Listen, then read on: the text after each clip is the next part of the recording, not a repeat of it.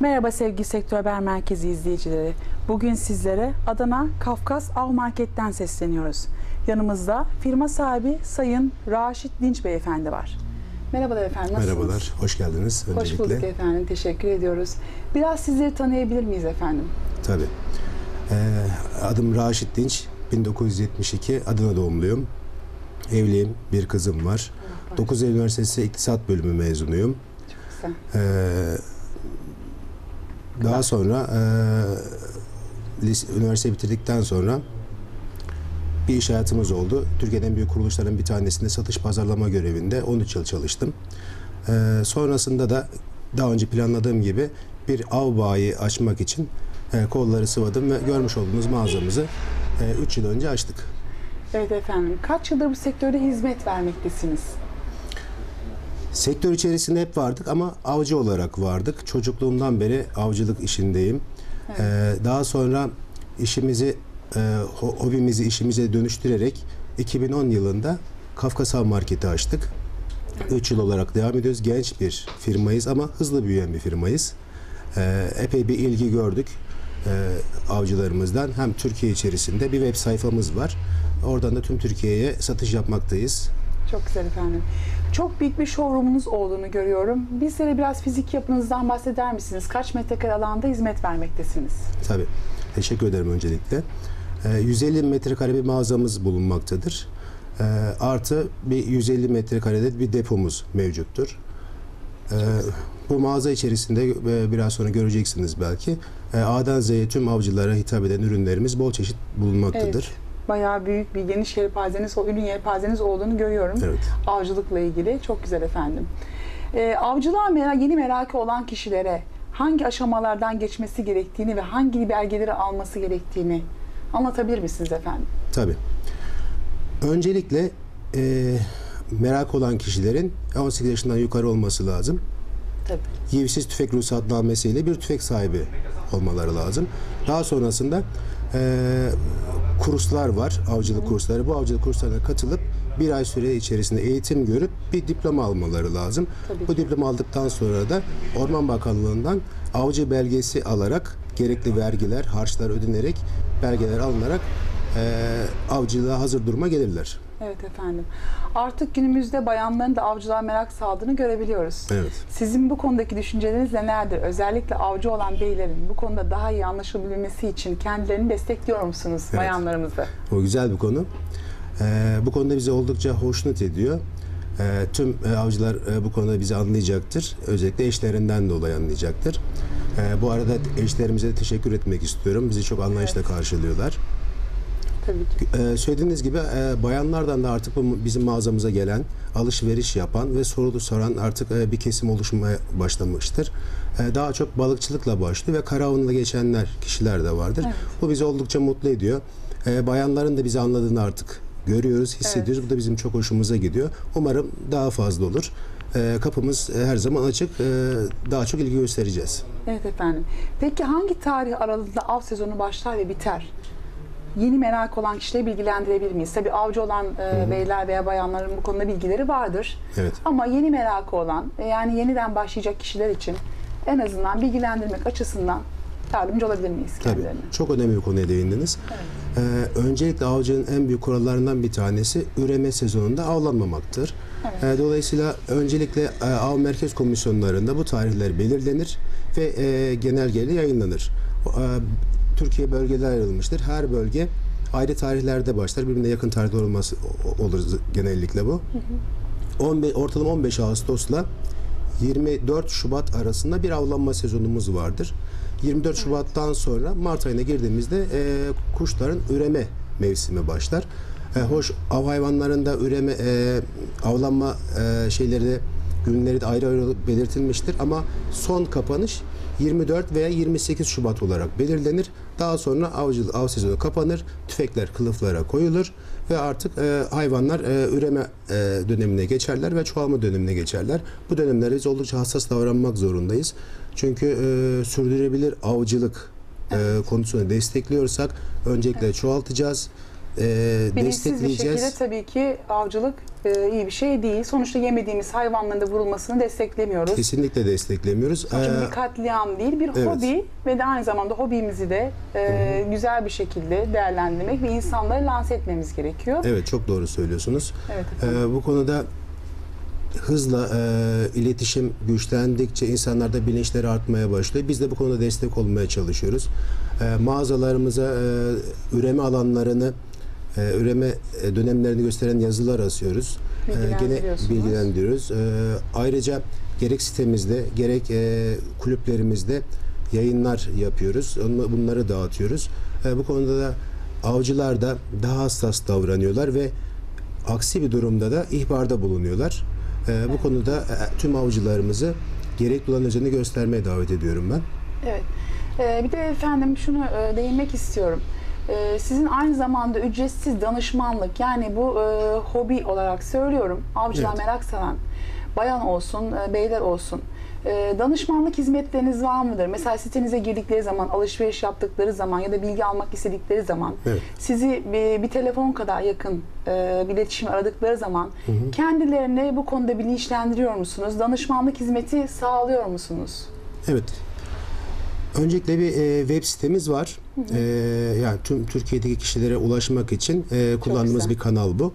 Burada e, gerekli olan tüm bilgileri aktarıyoruz. E, tüfek Evet. için almak için gereken belgeler, avlanma dönemleri, e, bu gibi avcıya lazım olan bilgileri burada yayınlıyoruz. Ayrıca söylediğimiz gibi mail adreslerimiz var. Te- telefonlarımız daima açıktır. E, tüm sorular bize geliyor. Elimizden geldiği kadar yardımcı olmaya ve yönlendirmeye çalışıyoruz. E, bu bizim işimiz, Tabii. hobimiz, e, mesleğimiz. Dolayısıyla tüm arkadaşları aydınlatmaya çalışıyoruz. E, avcılık ne kadar iyi olursa, sektör ne kadar iyi olursa hem biz çok av yaparız hem de bu sektör daha iyiye gider hep beraber. E, insanlar da kendi hobilerini gerçekleştirmiş olur. Evet efendim ben bir konuya daha değinmek istiyorum izninizle. Buyurun. Ee, şimdi biliyorsunuz ki şimdi Adana yöresinden bahsediyoruz. Adana e, bölgesi ve çevresinde Mersin, e, Tarsus gibi bölgelerde e, bunların dönemleri var ve hangi av hayvanlarının e, vurulmasının yasak olduğu, örneğin çulluk e, ya da e, Evet. kara tavuk bildiğimiz e, ya da yaban ördeği Evet. gibi e, bir de domuz avı var sanırım bildiğim kadarıyla yaban domuzu Evet. ve daha e, bilmediğimiz birçok av hayvanı var. Hangilerinin e, vurulmasının yasak olduğunu e, yeni başlayacak kişilere veya e, bu işin içinde daha doğrusu avcılık işinde olan kişileri bilgilendirebilirsek en azından kendilerinin de hani bir ceza almaması ve bilinçli bir şekilde avcılık yapması için Evet. bilgilendirmenizi rica edebilir miyim? Tabii. Ee, biraz önce de konuştuğumuz gibi e, Orman Bakanlığı bir kitapçık yayınlar. Merkez Av Komisyonu toplanır Ne ve güzel. popülasyonlara göre e, kuşların ve av hayvanların limitlerini belirler. Bu limitler de e, kitapçıklarla avcı olan e, kişilere dağıtılır. Evet. Bu kitapçıkların içerisinde hangi hayvanların vurulmasının yasak olduğu, s- hangisinin serbest olduğu ve limitlerin ne kadar oldukları yazılır. Doğru bilinçlendirmek her zaman biliyorsunuz Evet. Ee, küçük haritalar da verilmiştir. Ava yasak olan alanlar vardır. Bu alanlarda e, belirtiliyor belir- diyorsunuz. belir- belirtilir ve limitler de belirtilir. Yani her şey kaynak mevcut. Ee, bu arada bir mesaj daha iletmek istiyorum. Merkez Av Tabii. Komisyonu'ndan çok ki bahsettik. Ee, bu sektör çok büyük bir sektör. inanılmaz büyük bir sektör. Evet. Bazı kişiler hala farkında değil. Çok büyük cirolar dönüyor. Çok büyük kişiler Tabii ki. istihdam sağlıyor burada. Ki. Ee, çok büyük vergiler ödeniyor. Büyük bir av turizmi var.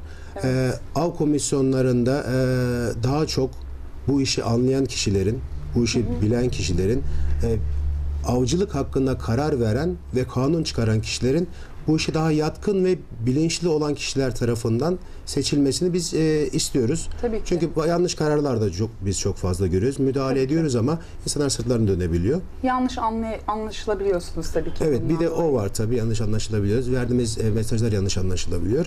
Ee, Sonuçta siz ticaret olarak bakmıyorsunuz. insan hayatı söz konusu olduğu için, Evet. bir canlının hayatı söz konusu olduğu için e, bunların doğru kişilerce e, denetlenmesini ve doğru belgelerin alınması çok daha önemli. Evet aynen öyle. Tabii ki. Ee, şu mesajı da vermek istiyorum. Ee, ateşli silah kullanıyoruz. Evet. Ee, dolayısıyla ateşli silah bir can güvenliği gerektiriyor. Ee, bu çok önemli. Öncelikle emniyet birinci sırada olmalı. Avcı Tabii ki. arkadaşlarıma sesleniyorum. Tabii ki. Ee, ar- arabadan avlak alanına gidene ve avlanana kadar e, emniyeti birinci şart olarak göz önünde tutmalarını istiyorum. Tabii ki. Ee, artı evde silahlarımızı, tüfeklerimizi e, Çocuklarımız ve eşimiz de olduğu evet. için kilitli yerlerde tutup çocuklarımıza, eşimize gerekli eğitimleri verdikten sonra öyle muhafaza etmelerini istiyoruz. Ee, sonucunda ateşli silahtır. Emniyet birinci şarttadır. Can güvenliğimiz birinci şarttadır. Bu mesajı da iletmek isterim. özellikle e, biliyorsunuz e, sırf avcılarımız için söylemiyoruz. Evde ateşli silahlar bulunduran kişilere sesleniyoruz. Buradan e, evimizde çocuğumuz olabiliyor, eşimiz olabiliyor. Her gün gazetelerde veya yayın haberlerimizde Evet. değişik haberler duyabiliyoruz, üzülebiliyoruz. Bu haberleri duymamak için lütfen diyoruz e, silahlarımızı dolu bırakmayalım ve temizlerken özellikle etrafımızda biri olmamasına dikkat edelim diyoruz Evet. efendim değil mi? Ben e, çok kısa olarak aynı zamanda showroom'unuzda balıkçılıkla ilgili ürün yelpazeniz olduğunu görüyorum. Kara hava sezonu kapalı olduğunda kendilerini boşlukta hissetmemeleri için nasıl bir hobi edinmelerini tavsiye ediyorsunuz efendim? Evet. Söylediğim gibi 28 Şubat döneminde e, av, kara av mevsimi kapanır. E, daha sonra avcılarımız e, bu aradaki zaman dilimini genelde doğa sever oldukları için doğada geçirmek isterler. E, balıkçılık malzemelerini e, kulla- kullanırlar. E, balık avlamaya giderler. Aileyle birlikte piknik yaparlar. Doğada olurlar. E, bunları düşündüğümüz için bir balıkçı balık reyonumuz da var. Buradaki malzemeleri e, avcılarımıza tedarik etmeye çalışıyoruz. Artı e, bu dönemde e, avcılarımız silaha da atmak ister. Aradan birkaç ay geçtikten Trap sonra e, sportif olarak trap ve skit atışlar var. Poligonumuz vardır Adana'da. Bu poligonlara e, gideriz. Tüm avcılar artık toplanır. Burada e, trap ve skit atışları yapmaktayız. E, bununla ilgili artık e, çok fazla ürün yelpazesi de genişlemiş durumdadır. Trap makinesi ve plakalar alarak avcı grupları oluşturulur ve e, güzel e, serbest bir yerde kendileri atış yaparak e, en azından e, bu e, tüfek atma heveslerini falan da giderirler burada. En azından e, bağımsız olarak avcılık yapan e, beylerin de ya da bayanların da bir arada e, kaynaşmaları ve birbirlerini tanıması açısından Tabii da ki. güzel bir aktivite olduğunu düşünüyorum çok doğru. Efendim. E, peki ben bir şey daha değin, bir konuya daha değinmek istiyorum. Buyurun. Biliyorsunuz e, avcılık yaparken yanımızda bir hayvan dostu olarak de çok sevdiğim için Evet. e, bazı avcılarımız yanında köpeklerini getiriyorlar. Tabii. Tabii ki bu hayvanlarımızın e, içindeki içgüdüsel olarak avlanma içgüdüsü olduğu için e, av sezonları kapalı olduğu zaman hayvanlarımızın da rahatlaması açısından e, nasıl kendilerine bir doğa aktivitesi yaptırmasını tavsiye ediyorsunuz? Çünkü onların da devamlı koşmaları gerekiyor. Evet. Bir yerde uzun süre bağlı kalması e, yani biz nasıl duramıyorsak siz nasıl diyorsanız trap ve skip atışları yapmaları öneriyoruz. Hayvanlarımızı da düşündüğümüz için biraz da kendilerini bu konuda yönlendirme yapmanızı rica Tabii. edeceğim sizden. Öncelikle şunu söyleyeyim. e, avcılar için çok önemli bir şey av kö- kendi köpekleridir, av köpekleridir. İnanın ki çok değer verirler. E, özel mamalarla falan da beslenirler. E, köpekler e, avcının çok yakın dostlarıdır. Evet. Dolayısıyla Yol arkadaşı Yol arkadaşıdır. E, arabanın ön, e, koltuğunda oturur e, kimse olmadığı zaman. Dolayısıyla e, bu ara mevsimde tüm avcılar köpeklerini dolaştırırlar zaten. Evet. Pikniklere götürürken götürürler. O da bir ailenin parçası olmuştur Tabii bir ki. avcının zaten. E, pikniklere gider, balık avında götürülür. Köpekler hiç aileden ayrılmaz yani. O konuda e, müsteri olun. E, tüm avcılar hakikaten köpeklerine çok iyi bakıyorlar, koruyorlar. Çok teşekkür Rahatlatıyorlar ediyoruz onları. efendim. Kendilerinize sizlere verdiğiniz bilgiler için. Sağ olun. Ee, geleceğe yönelik hedefleriniz ve projeleriniz var mıdır? Yani Adana e, bölgesinde veya Mersin, Tarsus gibi yakın bölge ve civarlarda e, başka showroomlar ve şubeler açmayı düşünüyor musunuz efendim? Daha, e, daha geniş bir kitleye seslenebilmek açısından. Evet. Ee, 3-4 yıllık bir firma olmamıza rağmen e, hızlı büyüyen bir firmayız demiştim. Ee, web adresimiz var kafkasav.com. Burada satış yapmaktayız. Buradan çok güzel e, bize bildirim, geri bildirimler de gelmektedir. Bir telefon kadar da yakınsınız. Evet. e, dolayısıyla franchising yöntemiyle şube isteyenler de arkadaşlar da bulunmaktadır. Bunu Çok da güzel. düşünmekteyiz. Ee, bulunduğumuz showroom'daki ürünlerimizin yelpazesini daha da arttırarak e, çok daha kaliteli ürün ürünler Talep e, üzerine. talep üzerine getirerek tüm avcıların istediği her ürünü getirme, getirmekteyiz ve bulundurmaktayız. Ee, dolayısıyla ürün yelpa artık avcılık e, öyle bir sektör haline geldi ki av- avcılar ava saygısından dolayı çok güzel bir şekilde giyinmeye, kıyafetlerini ona göre hazırlanmaya görebiliyoruz. başladı. Ama bir saygı daha oluşmaya başladı. Tabii ki. Bunun bilinci de artıyor. Ee, Dolayısıyla sektör de genişliyor. Biz de bu genişleyen sektörde e, önde olmak istiyoruz. Çok güzel efendim. Peki son olarak sizi tercih eden müşterilerimize ve izleyicilerimize neler söylemek istersiniz? Nasıl bir mesaj vermek istersiniz? Çünkü biliyorsunuz avcılık sektörü çok önemli ve insan hayatını ve e, sonuçta yanında getirdikleri köpekler de olsun, insan hayatı da olsun Evet. kapsayan bir konu. E, ve ben buna özellikle değinmek istiyorum. Tecrübeli insanlarla yani eğer ekip halinde çıkıyorlarsa insan hayatına ve e, hayatını etkileyen e, canına mal olabilen veya hayatını tamamen etkileyebilen kazalar olabiliyor. Biliyorsunuz siz de bir avcı olduğunuz için aynı zamanda. Bize e, nasıl bir mesaj verirsiniz sizi izleyenlere?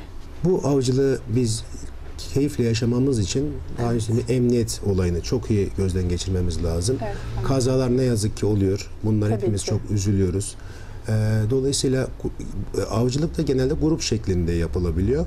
Bir grup lideri e, olması lazım. Bu grup liderinin hatırlatması lazım. Tüfeklerin emniyetli bir şekilde doldurulup boşaltılması lazım. Kıyafet de çok önemli değil mi? Şapkalar olsun özellikle Evet. kendilerini gösterebilmeleri çok özür dilerim yani belirtiyorum. Estağfurullah. Hı hı. Çünkü onların da renkleri var e, doğa içinde kendilerini gösterebilmeleri için.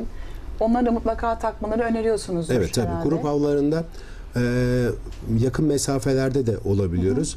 Dolayısıyla kamuflaj giydiğimiz zaman insanlar Evet. birbirini kısa zamanda göremeyebiliyor. Dolayısıyla turuncu renkli ürünlerimiz var. Evet. Şapka veya atkı gibi bu, bu malzemeleri kullanarak görünür vaziyette, dikkat çekici vaziyette olmamız lazım ki av arkadaşımız bize Tabii fark ki. edebilsin Sonuçta ve kazalara sebep ailesi var. olmasın.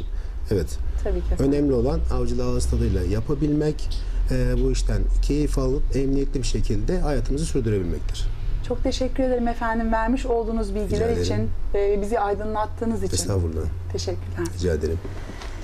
Evet sevgili Sektör Haber Merkezi izleyicileri, bugün sizlere Adana Kafkas Av Market'ten seslendik. Sayın Raşin Dinç Bey çok önemli bilgiler verdi. Söz Merkez Stüdyolar'da.